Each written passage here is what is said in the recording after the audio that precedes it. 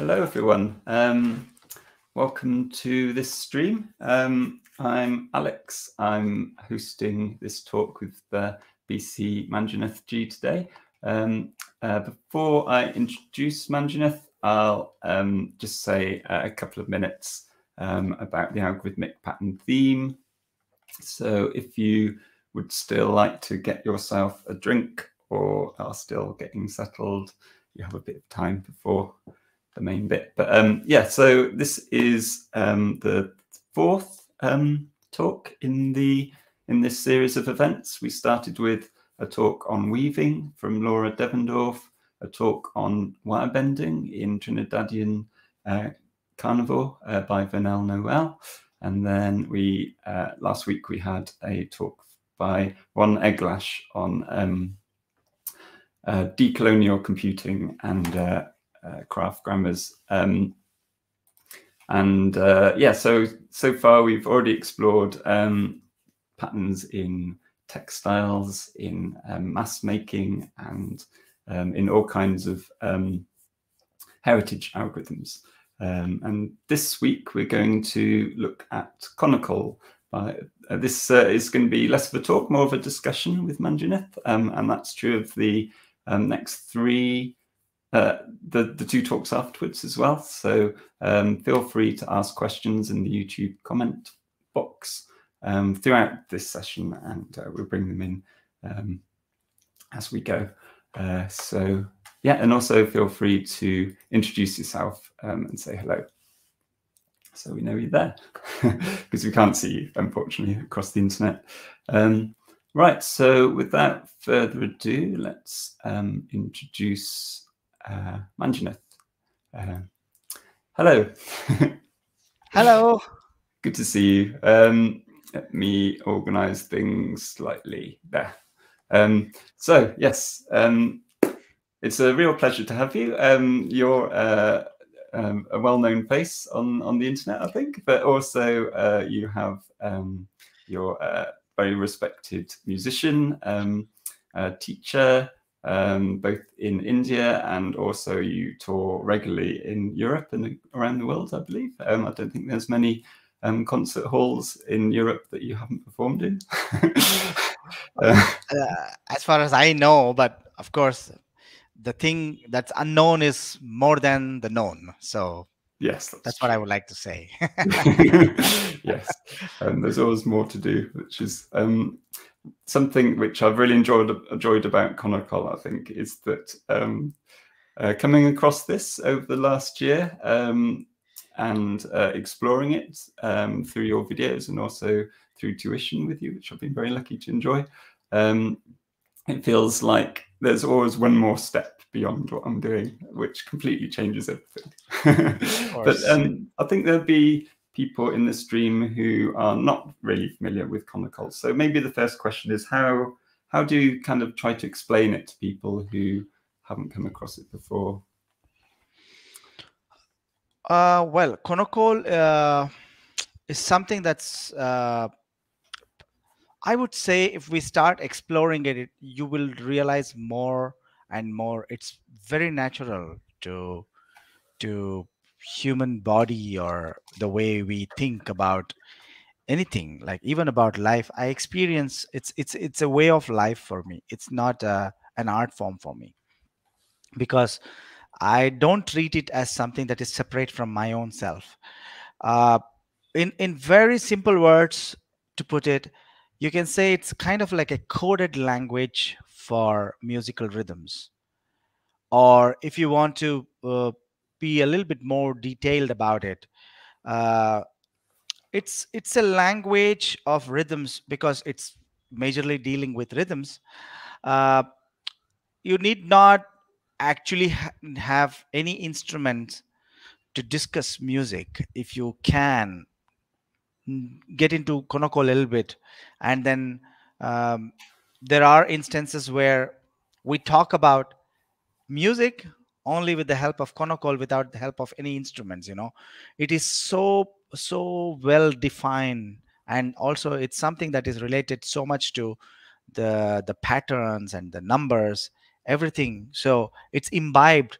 So its only thing is like just treat it as another speaking language. Let us say uh, let us say it's one of the aboriginal indian languages. That's what mm. i would like mm. to call it as you know. So but it's it's not it might not be as difficult as some other aboriginal language. If you are a musician already if you're not a musician already if you know numbers how to deal with numbers because that's something that we deal with every day in and out. We are always looking at numbers. We are dealing with numbers. Uh, everything that we do around us uh, consciously subconsciously it's all about numbers. So konnakol is something that you deal with numbers at least to start with. Then once you start knowing more and more it becomes like it gets to the subconscious level like just like uh, you're driving a car how to learn to drive a car.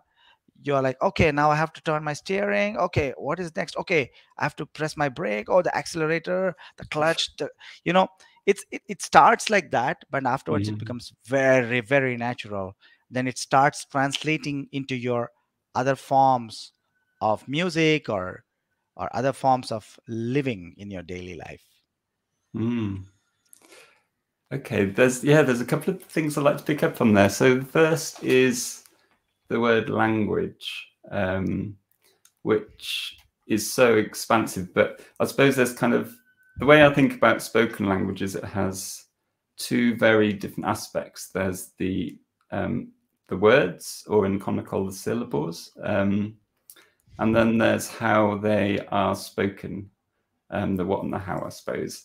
Um, so we have um, when I'm speaking, it, I'm speaking words, but I'm also what the intonation is putting across so much meaning. It's like there's these two channels of meaning. Um, the kind of um, syntactic or semantic, but also the prosody, the kind of the rhythm of the language, but also the pitch of the language, um, you can completely change a sentence just by very subtle intonation. Um, and I suppose this is true of Konnakol as well. Um, well, uh, intonation is one of the the key factors of Konnakol uh-huh. because there are many aspects that's been believed to make uh, Konnakol sounding exciting. It need not be speed, it not need not be uh, clarity, but the way you say the same thing because as far as i know one of the greatest a lot of great musicians in this world they don't play a lot of things but they play the same thing with different intonations every time which mm. conveys different kinds of moods you know it's always like they are like kind of like projecting the the mood of the audience or the mood of the artist on the stage or the combination of the mood of both audience and the artist right? So for me intonation is is is the first thing that i have to learn in konnakol. Mm-hmm. like for example the first basic four syllables is ta thi tom nam you know? You can mm-hmm. simply say ta thi tom nam. But there is a way to say this you know right? I always say like think that you're talking to a kid don't be very aggressive when you deal with it right? So ta thi it's like come here baby what are you doing? Do you want to have some food? You know? You cannot say hey come here you want to have some food? Okay i've got this this puree and then why don't you just eat it? No i cannot do that. I feel like i'm your kid like i have prepared some puree to you you know like why don't you just have something? And then the same way i treat the konnakol as also like you know like ta di tom nam you know? Uh, one way of like addressing it with a lot of love and then as if like you're speaking this is one of the moods because konnakol can create a lot of emotions. And then i always intend to start with this kind of like kind kindness. And then mm-hmm. when you think of like ta dhi tom nam where these first three letters are asking questions like ta which is going up dhi tom nam nam is like the one okay you guys you three guys asked me this question but this is the answer. Num, you know, num. Mm. So you can do. You can also make ta, di, tom, num. You know, like three people are answering, but num is still not convinced. You can say, okay, look, I'm not convinced. num like this is what you said hey d did you say that you know like i mean like it's all about storytelling you know you cannot you cannot present any art form without having a story it is not bunch of notes it's not bunch of musical notes or rhythmic notes or the idea or the concepts of numbers or rhythms or or the harmony. There has to be a storytelling behind whatever you want to do. You imagine something. It's okay because you know for me music is something like uh you're it's like drawing you're painting notes in the silence Mm. so and then at the end it's also at the same time very abstract because you're thinking of a story but it's not literally explained through the Mm. language which you already know it's something very alien for you but still at the same time let us say you're talking gibberish but by the intention of you saying it by the intention of your intonations you can actually get what you're trying to say you know the more you Mhm. get deep into this language you can easily get what you're trying to say. But for me the most important thing at the end of a performance is to leave the audience not with answers but with a lot of questions. They should have a lot Mm. of questions. They should interpret my story in their way in their own way and they should come up. So that's like you know it's like to be continued. I should not have an answer. Everything is to be continued in art. Nothing has an answer Mm. Thank you. That's such a nice way of introducing Konnakol. Um, uh, I, I suppose. So, how do you feel then when you are sharing a recording of a Konnakol performance? Um, and how does that feel different from performing it with a live audience? Um, I'm thinking about when when you're performing, people just hear it once. It's um, they come with their own stories and they sort of fit it in with the story that you're telling. Um, but when you're sharing a recording of a performance, um, in a way, it's the same every time someone watches it. Um, but I find myself watching the same konnakol performances that you've put online over and over again and getting something very different each time. Um, I think this is something quite new in the last sort of few decades that we can experience the same sound waves over and over again, but somehow it doesn't feel the same each time I listen to it. Um, so yeah, do you approach um, uh, composing something for a recording differently from approaching a recital, a live recital? well i have i have journeyed a long time in my life especially with when it comes to uh konnakol you know Mm. uh it start uh, just to just to take uh your your talk a little bit further Mm. you said that you feel different every time you listen to it Mm. it is not me Mhm. it is you who feel it different because every time you listen to something or you watch something or you talk to somebody you are coming from a place where you went through a, some kind of emotion and then Mm. that the state of mind that you're in and the state of mind that- i recorded trying to say a story and then for some people you know like it's not that they everyone likes what they see or what they listen to because it can be at a time where because uh, sound is something it's related to vibrations right Mhm. so when it, it because because of the five senses and uh,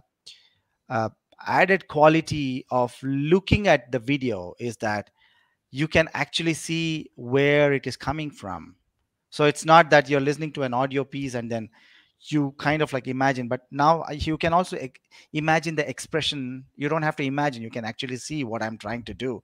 Mm. so it's kind of like you can actually try to see what kind of emotions i'm trying to give th- through our, uh, through my face you know? So at the same time your emotion is different at that time. It need not be the same every time you listen to my video or any other music. At the same time if you listen to me doing the same piece another time it might not sound the same because i might not be in the same mood again. I might have come from home after like playing with my kids one day so i'm really happy. And i want to express it through my music. And i want to say a story about what i went through in my house. Or maybe i had a fight with my wife.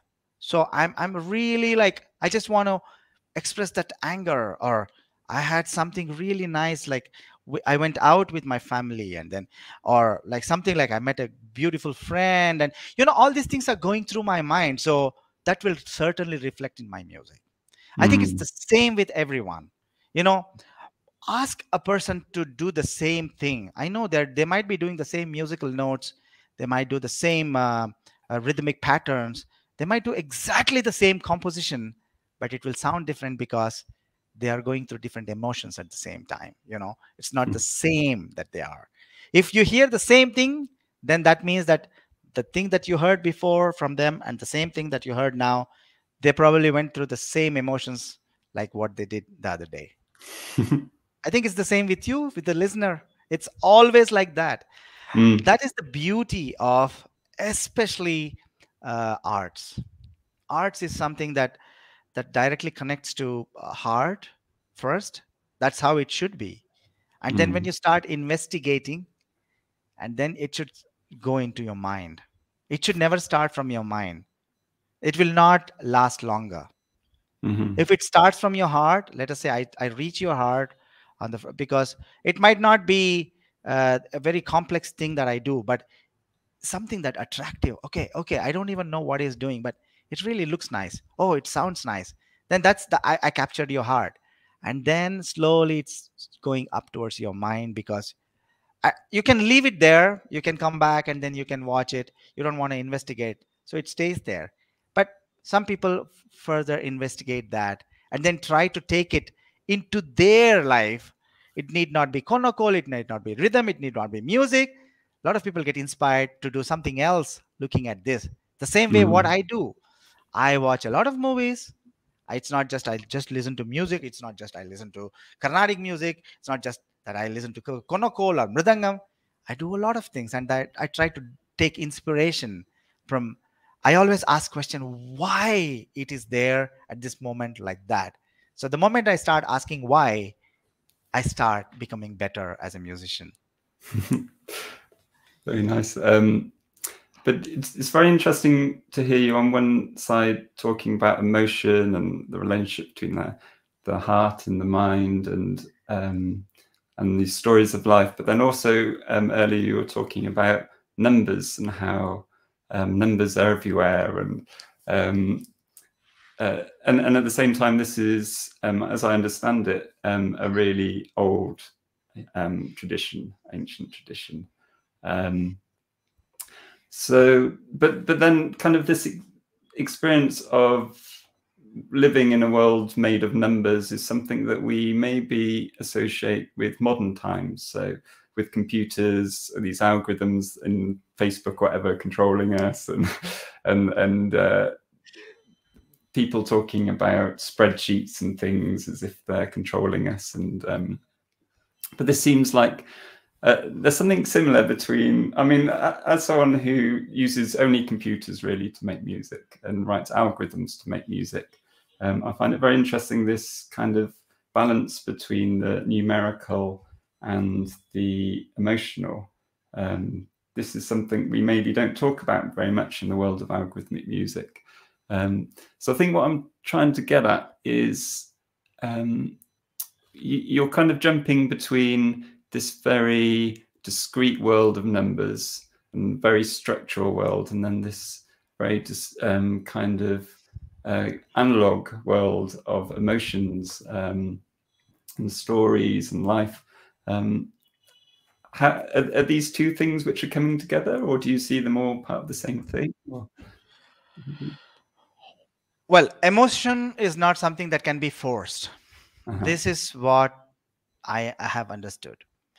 So emotion is something that comes to the realization because you like something but you don't know what it is. But the moment mm. you start knowing what what is what you're going through, I think that's the final stage. So you cannot force that final stage already in the beginning. You know, you have to, like for example, you're asking about numbers and konnakol. Mm. So every number can be uh, given a kind of a sound in uh, in in rhythmic language. It can be konnakol. I have heard a lot of uh, uh, vocal uh, uh, uh, syllabic art form because I was once in Sri Lanka. They have their own kind of like uh, uh, rhythmic syllables, which is so beautiful and interesting. And uh, there is also like uh, you know like for me uh, beatboxing is uh, Mhm. probably uh, is one of kind of konnakol you know because they're Mhm. trying to imitate some some drum or some sounds that they listen to and then they are trying it further into creating new sounds which not, might not be even there so that is Mm. what probably a computer expert would like to catch that and then try to make a sound of it and then maybe merge with something else you know this all these things will happen so the same thing happens with with konokol also like for example uh, in, in a very common layman's language if i have to explain let us say if one if you want to count one then there is a, a syllable for that. It can be ta or dhi or tom or nam ki tam like all kinds of syllables that you can utter thinking of this drum which is called as mridangam. So that's how Kon- konnakol i think is trying to do these days because as you as a lot of people might have read it has like 5000 year, year history all these things i'm not a an expert uh, historian or anything i just Mm. do i'm a very emotional musician and then i just do what i listen to and then my ma- my my my father my teacher they were all amazing konnakol experts. So uh, Mm. one of my teachers who is still alive and uh, is one of the greatest mridangam artists and also uh, a great konnakol expert dr tk murthy. So i listen to them and then i've been doing this all the all my life you know so at least 40 Mm. years now. So so ta is one. And then if you want like one two one two one two you can do ki ta ki ta ki ta ki ta. Then if you want to do one two three one two three one. They can be takkita takkita takkita. It's not just this combination of syllables. Then you can do mm-hmm. dhinnaka dhinnaka dhinnaka tataka tataka tataka tadhimbi tadhimbi tadhimbi you know if you're doing one two three one two three one two three tataka tataka it's very plain and simple. But i'm trying to put some life into it. Dhinnaka dhinnaka dhinnaka dhinnaka dhinnaka dhinnaka which might sound like let us say a kangaroo jumping. Dhin- you know i mean like you can't think of anything. I'm not trying to uh like trying to force you to think about something in this. Mm. something like i would always say that okay close your eyes or if you just try to think of what this translates to you as some kind of movement or moods or something like that. That only happens with the intonations. Mm. Cannot happen without the intonations. For me, the moods and emotions can come through the intonations and with the the proper way of connecting the notes. For example, uh, there is this this word called as liaison in uh, in French. Mhm. So, for example, tarikita, tarikita, tarikita, tarikita, tarikita, tarikita.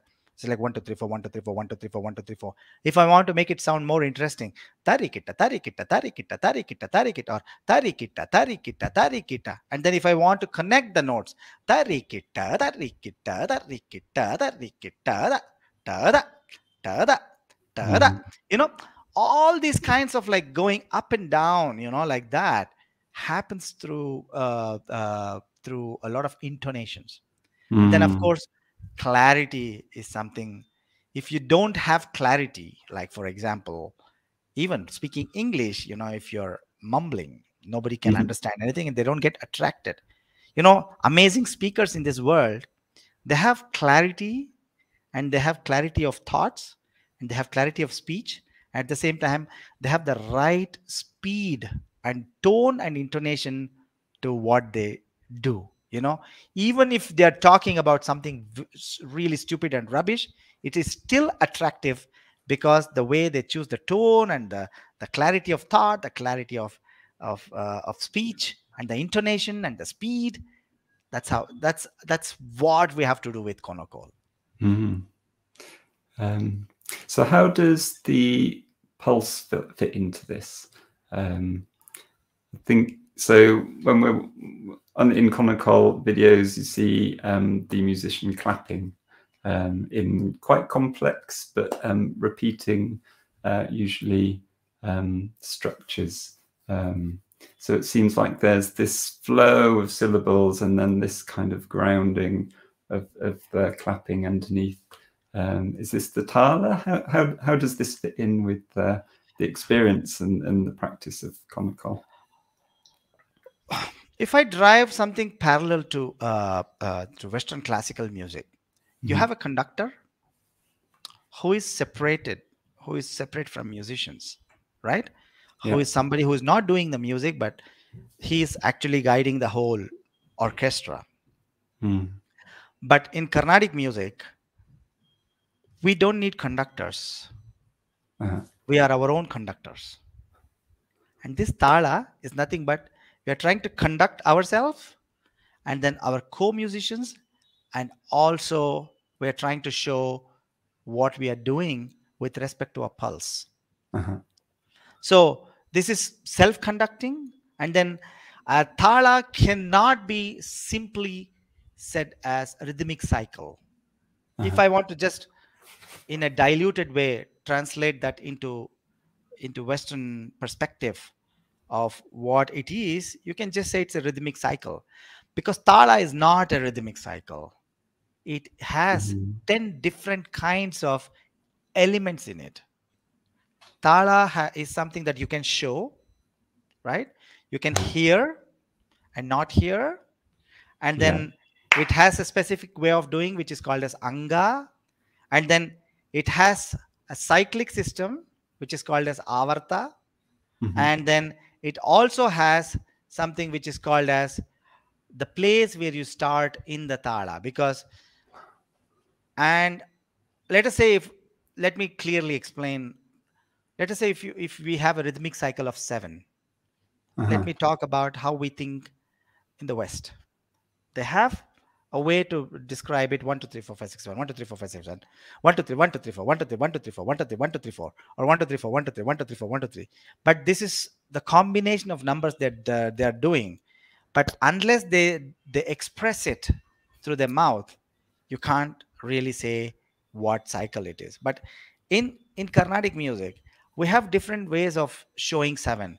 It can be 2 plus 5 1 2 1 2 3 4 5 1 2 1 2 or it can be 3 3 plus 4 1 2 3 1 2 3 4 these are the frames like mini frames like it's like let us say you have small houses where you can build your own stuff Mhm. and uh, like this there are if if people are interested they can just go and see dasha pranas in this this will make up a tala without these 10 elements you cannot call it as a tala and Okay. what i do like clapping and turning like this this is called as dhruta and then clapping and counting fingers is called as laghu. Clapping is anadhrita so i just told you about three parts of a tala which is called as angas. But there are 16 such parts in a tala. And then Wow. it can get there are many kinds of systems of talas in in carnatic music. Like for example we learn four basic talas which is 8 7 8 s- uh, 3 4 and 5 8 as uh, time signatures. Then afterwards we start learning 35 different tala systems. Then we also if we are still alive at the if we can understand at the end of it then we can investigate in something which is called as 108 tala systems where the longest tala is 128 beats long. One cycle is which which is com- combination of these kind of parts you know? So that is the longest tala that i have been introduced to from my guru and my father. Mhm. and there is 72 tala system. There is 175 tala system. And my father used to tell me there is also a 1008 tala system. So it's even just to learn what these talas are one lifetime is not enough. Yeah. and then if you want to be uh, you cannot be complex for the just for the for the sake of being complex you know? Mhm. how does complexity or complicated comp, i don't know complex and complicate is totally different. So complex is something that uh let us say you make paella right in in uh, in, in a spanish dish which has a lot of elements in it. It's not it is complicated for a person who wants to understand what it is but it is built over many simple things if Mhm. there are a lot of simple things which is imbibed into each other that becomes complex right? So you cannot become complex just for being the becoming the sake of it right? So you have to get bored by doing a lot of simple simple things. That's that makes you just go just like playing video game you know? You play level 1 you're bored you go to level 2 so you're getting complex in that. The same way you cannot force complexity if you understand that you're trying to make something complex then then then that is really a failure of a musician the complexity should be for others but for me it should be simple yes, this is yeah. I really like this. I think um, there's a really important message for music technologists in there, um, such as myself. It reminds me of um, a local musician called Mark Fell who talks about this in a similar way. Um, I think a lot of music technology looks for the complicated, for the impressive, um, but when you have these simple elements that are coming together to make complexity um, you have to be humble because just like a few simple elements that you combine can interfere with each other and create such amazing complexity. Um, and then when you have that, you can go back to those simple elements, make a tiny adjustments, whether it's in intonation, making something slightly faster or slower, um, and everything changes. Just changing that very simple thing. Um, and I think that's kind of the essence of pattern. It's a very humbling thing that um, such simple operations, um, just counting up or counting down. Um, when you um, combine it with something else, you just get this explosion of possibility. But yeah, the real pleasure for Konnakol for me is just the pleasure of learning it. Everything, um, when you learn something new, you kind of see a little bit more of the picture, and everything else um, changes and freshens up. It's um, it's an amazing experience. Um, i'm glad you like it yeah, it's great. Um, but um, yeah, so we're uh, over halfway through already. Already, time is going very fast, and I was thinking about how in Konnakol time really um, changes when you're making these adjustments and and dealing with these very long tiles. Uh, it's just um, a way of expanding the awareness of time in a beautiful way. But unfortunately, we have to deal with clock time here. um, yeah, I was wondering if you could um, maybe recite a little um, piece uh, for us to um, sort of frame the discussion a bit more before we take some questions from the floor. Would, would you be up Sure. for doing that? Ah, great. what what do you want to listen to do you have a rhythmic cycle in your mind Um, I think maybe something uh, quite uh, that maybe has simple um, aspects that come together into complexity, if that's possible. Something that builds up so that we can, okay um, for us naive Got it. ears, we can follow into this complexity. That'd be amazing. okay. So we have uh seven. So i'm going to count seven. Okay. and then i'm going to count it in a particular way which is not too fast not too slow. So let us say one two three four five six seven. One two three four five six seven. I am going to put a cycle. One two three four five six seven. One two three four five six seven. One two three four five six seven. One two three four five six seven. One two three.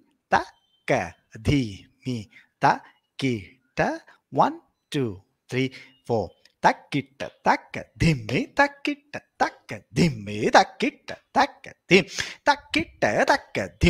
takita takita taka dhimmi takita takita taka dhimmi taka jendo takita takita taka dhimmi takita takita taka dhimmi taka jendo takita taka dhim dhim taragada kita kada taka dhim kada taka taragada kita taka dhim dhim taragada kita kada taka taragada taragada taragada dum taragada dum kada taka taragada taragada taragada dum taragada dum kada taka taragada taragada taragada one two three one two three four takata dim takata dim takata dim dim takata dim dim takata dim takata dim tak tak tak tak taragada dim takata dim takata dim dim takata dim dim takata dim takata dim tatakada takata dik don don kada nam nam kada takata dim takata dim takata dim dim kada takata dim takata dim takata dikata dum kata nam kata takata dim takata dim kata dikata dum kata dikata dum kata dikata takata dikata dum kata nam kata takata dikata dum kata nam kata takata dim takata dim takata dim kata takata dim kata takata dim takata dim kata dikata dikata dikata dikata dikata takata dim takata dim takata dim dikata dum takata dim takata dim kada kada kada kada kada kada kada dom kada kada dom kada kada jam tak jam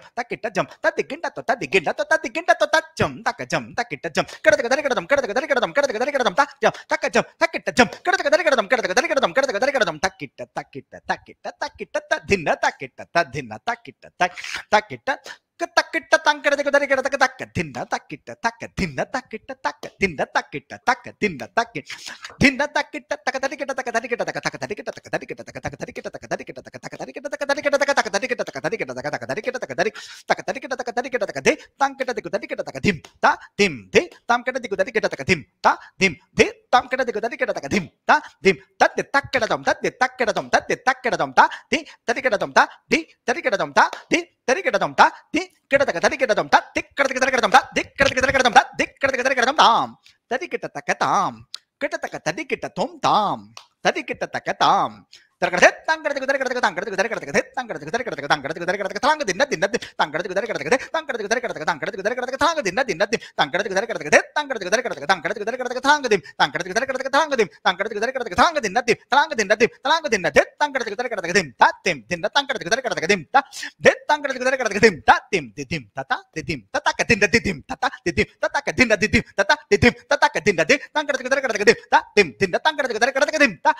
Tangkar ta dim dim dim ta ta dim dim ta ta ka dim ta dim ta ta dim dim ta ta ka dim ta dim ta ta dim dim ta ta ka dim ta dim dim dim ta ta ka dim ta dim dim ta dim ta ta ka dim dim dim ta ta dim ta ta ka dim ta dim.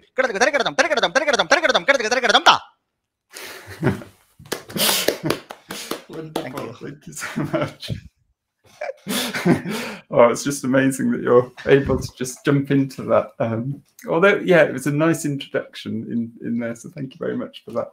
Um, I think that one of the stranger things of being quite a naive listener is that I'm unclear about the extent to which this is improvised and to the extent to which you're bringing in classical compositions or or whether it's all pre-composed. Could you say a little bit about that, perhaps? Okay, this is a very, very, very beautiful question that I like to answer every time. And then it is something that uh, I'm trying to create awareness of what I do, not about what others do. Mm. Uh, what is improvisation? Okay, because for example, right now, because I didn't know uh, what I was going to start with, I didn't know what I was going to do. So I just started, you know, I have tools to build stuff, right? It's like mm. You give uh, uh, a canvas and then you give some colors and some brush to a painter, then ask him or her to paint something, and they just they just do it, right? And uh, they don't really have to uh, be asked or prepared, be prepared to do something. It's the same way. Like I'm trying to color picture uh, i'm like i'm trying to paint the sounds over silence okay mm-hmm. and then i'm creating my own frames to build. It's like playing lego for me. But mm. what is improvisation? According to please i will ask you a question. What is improvisation? Um improvisation for me i think it's um it i think it's like a sort of craft approach where you're responding to your material.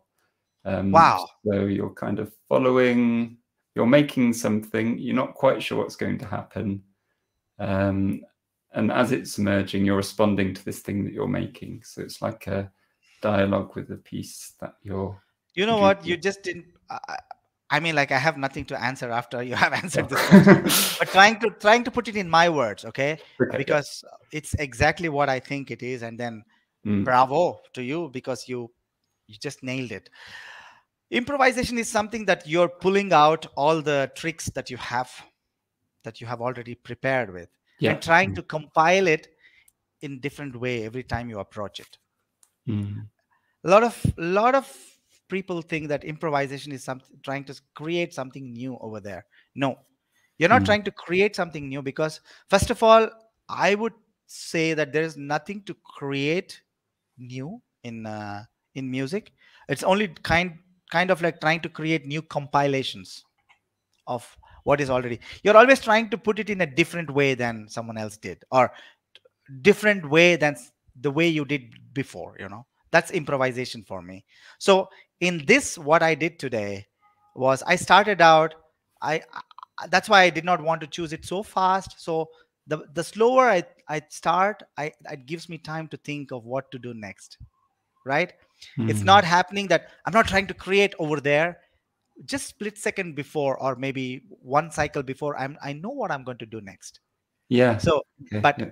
everything that i did there were maybe two or three compositions which is classical compositions which i uh-huh. took as uh, a savior for me you know like uh, at that moment i didn't because classical compositions compositions that's already done time tested is something that is very beautiful at the same time it's also a savior you know like you already learned it so you can just present it you don't mm. have to do mm. anything you just have to do justice to these compositions mm. but the way i compiled it the way i did the whole solo not even not even a, a, a tiny little bit of it was already thought of for me from my side before it was all improvised on the spot mm.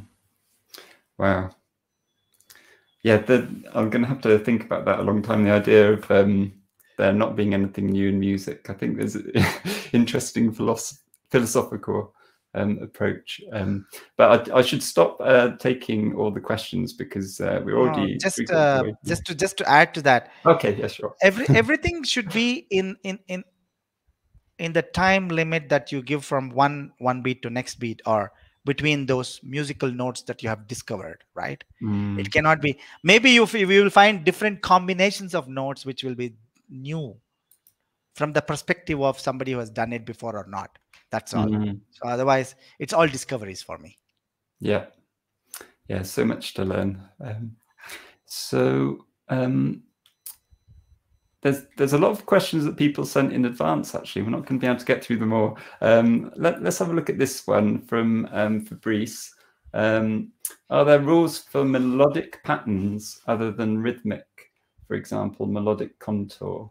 And this makes me think about one of the videos which I watch a lot, which I also put on the algorithmicpattern.org page for this event with uh, Varish, Varijashree Venugopal, um, yeah. a vocalist. Um, and it was very nice having the juxtaposition between your um, syllables and her syllables, which she was actually singing. Um, could you say a, a, bit about this question and also relate it perhaps to that to that collaboration with the singer? Well, according to me, rhythmic patterns uh, are easier compared to melodic mm. patterns okay. because you know uh, in Indian music, because that's where I'm coming from. That's what I understand. I don't want to speak to speak about every music that's in the world. I'm not I'm not generalizing anything here. Uh-huh. In Indian music, we have a system which is called as uh, raga mm-hmm. where raga is again i cannot just simply translate that into western context where this it's a melodic cycle it is not melodic cycle because um a raga is of course a way of going ascending and descending from one note to from the tonic note to up and coming back at the mm. same time it also has its own characteristics because every raga is coming from another raga. So it's like kind of like parent and scale. If there is a parent itself you know it has its own rules. The way you ascend the way you you touch another note it need not be it cannot be like if you just know the the, the melodic cycle you can improvise. It depends mm. on which raga you're doing it. So that means they must know those rules. And then at the same time they also have to do the rhythmic patterns you know mm. because if i do takita taka dhimbe takita taka dhimbe takita taka dhimbe they cannot just say uh, uh, sari gama padani sari gama padani sari gama padani you know they have a lot of rules to approach it so mm. that is only possible if you are an experienced musician and if you are a knowledge knowledgeable musician and then you have if you have done it for a long time mm. and then that's how you're also like making it look fascinating beautiful and then very emotional it's only possible if you have spent a lot of time in this and then yes there are a lot of rules for melodic patterns that is to answer Mhm. mr fabrice's uh, question yes. Um, I'm looking for another question. Um, yeah, this kind of leads to this from Javier. Um, could you comment with thoughts and opinions on computer systems for generating patterns and or the possibility of formalizing and implementing Konnakol principles? So I think because you talk about rules a lot, but are these really the kind of rules that can be formalized? Um, are they that strict, that well defined? Um, can they exist on paper? Um, uh, you mean to say that the rules of konnakol you mean mm, well rules are always redefined huh? mm, it's not something that is uh, static. Mm, right? You learn a rule you break the rule and that becomes the new norm that becomes the rule. Mm, then the already defined rule the area of already defined rule becomes larger. And then you teach it to someone else. They learn this rule. Some people want to stay in the same circle but some people want to forget half of it and then maybe remember half of it and they, they break the rule that becomes another norm you know? Mm, so rules are always being set. Mm, and but there are always like thumb rules which is there which need not which which, which must not be broken. Okay. and these these rules are so strong because it's very hard to break them because everything because these are time tested rules you try to question them there is always an answer but you have to be intelligent enough to find the answer so Mhm. person who knows the rules really well only that person can break the rule Mm, and then still make it sound convincing for Yeah. example to take this uh, this, this question from javier uh, whatever the computer systems are uh, generating you know you can actually whatever sound you listen to you can actually reproduce that with konnakol. Mhm, and it is possible that we can formalize and implement in in in but i don't know if if, if you can do the same thing vice versa. Mm, because No. human body the, the vocal the, the the sound of the human body is probably the most advanced way of thinking of sound than any computer in the world Yeah. yeah, I think this idea of a rule which is there to be broken, not all rules, as you say, but um, they're, they're just there to kind of set a creative space or something, I suppose. Um, I think this idea is very diffi- difficult to formalize with a computer. Um, and I think it's also a bit hard to conceptualize like i'm so used to the idea of music being something that's written down um, and then it's kind of fixed in a way. Whereas would you say Konnakol was more of a um, i mean I, I understand there is notation for for Konnakol but it seems to have a different um, a different role in music making. Um, so I, I suppose i'm trying to say or ask um, is is is kind of is is the kind of vocal the way that it's it's um, transmitted from person to person through practice rather than through notation. I, I suppose that um, e- even though it is so kind of based on numbers, it's also based on um, practice rather than than notation. Does that is, is that something about how it's difficult to formalize the fact that it is so fluid in the way that it's transmitted from person to person? i love these questions alex. You really ask me some really beautiful questions. It's it's the same example as which came out first hen or egg you know? But for me uh, uh, for me i have an answer for this because i'm sure the notation did not exist on the first place. Uh-huh. uh, it is something that that that came after you created something but it's the notation is something that will help you to remember things after you have forgotten Mm. right uh, if you are a very good notator let us say like if you Mm. can notate what you do or if you have a system just like what you have with the staff notation in the west uh, where everyone kind of like seem to understand each other even like somebody from 18th century who has written uh, music on on the on the on the paper is being Mm. interpreted. I don't know if it was the same way that the composer thought about it but somehow they read the same way. Like you put it uh, in front of a musician in, in in germany or in new york or in uh, or in uh, poland you know they all interpret it almost in the same way. But indian music did not emerge through notation notation Mm. is only happening now and then i think notation in indian system is kind of a it can be a strength but for me i think it's you are more powerful as a musician if you can remember things and then if you learn orally Mm. the less you refer to the notation the much more uh, uh, stronger will be your music Mm. but you are forced to do a then that means that you're limited to do a, small uh, not so many things. If you want to do a lot of things then you cannot remember so many things. So notation should happen and then if we don't have a common notation system. I think they are still uh, fighting over it like which which should be commonized and and then i have my own notation and then i always uh, Mhm. make a joke about it.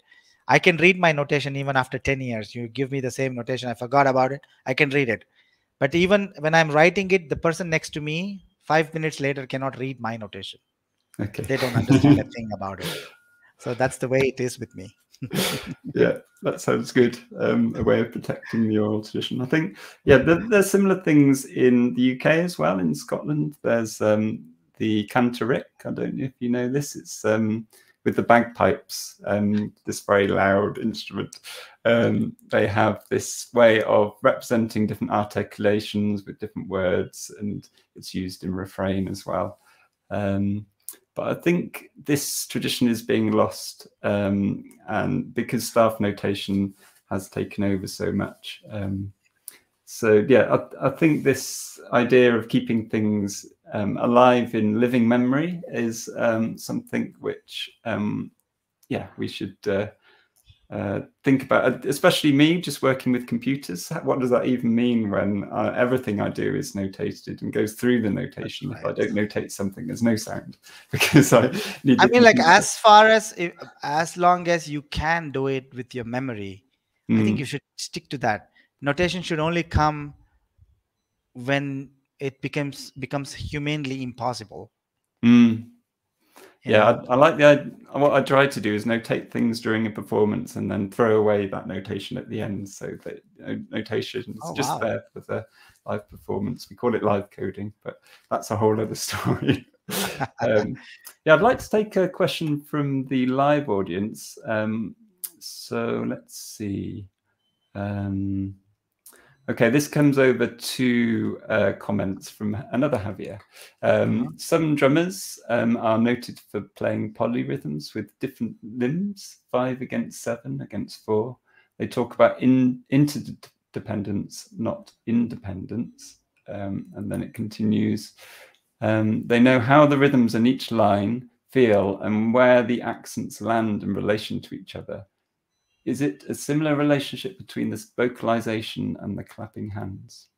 Javier relay this is exactly what it is it's exactly what it is it is not independent it's all interdependent Uh-huh. you approach to a, a particular beat uh, if it is in seven or five or four it is all interdependent and then you you, you perceive it as one pattern altogether Mm. You might for some time isolate one of the rhythms and then listen to it but at the same time still it is interconnected and it's not independent for me at least it is interdependent Mm. This reminds me of reading um, a um, a scholar, uh, Justin London, writing about polyrhythm. I think I'm, I think I'm remembering this right. I might be misrepresenting, but um, I think he has the idea that there's only one um, meter um, in perception.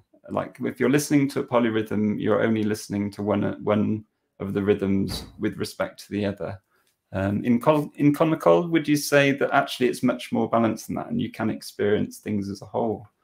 Um, At least you... you... know, like how does the polyrhythm exist in konnakol is like you you kind of like uh, do in two different hands, and mm-hmm. some people also do it with two different legs and uh, the knees, and then this, and then neck.